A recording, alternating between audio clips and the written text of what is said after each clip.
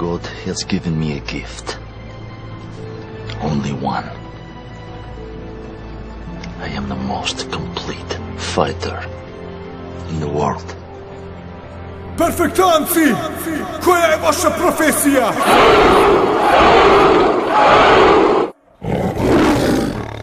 Prvi dan što treniram, osjećam se bolje Druga glavna obaveza, odmah posle škole Braćo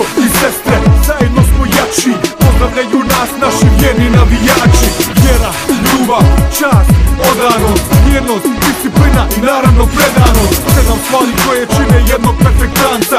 Ovdje među nama nikad nije bilo stranca. Ekipa ide naprijed, nebo nam je granica. Piše se nova u historiji stranica. Kad osjećaš se loše, kada ide dole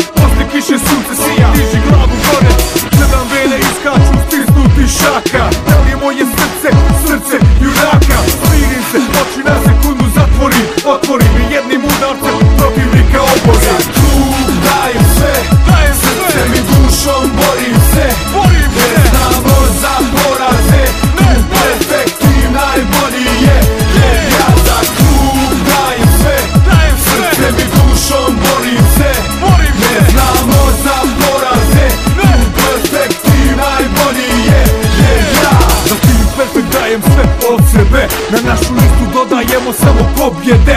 Spremni smo u svako doba, dana ili noći. Disciplina prvo mjesto, ostalo će doći. Rame uz rame, zajedno se borimo.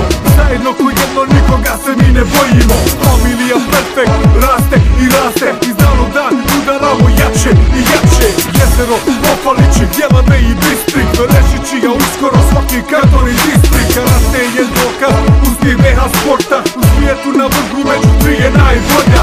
Zato svi dižite ruke u vis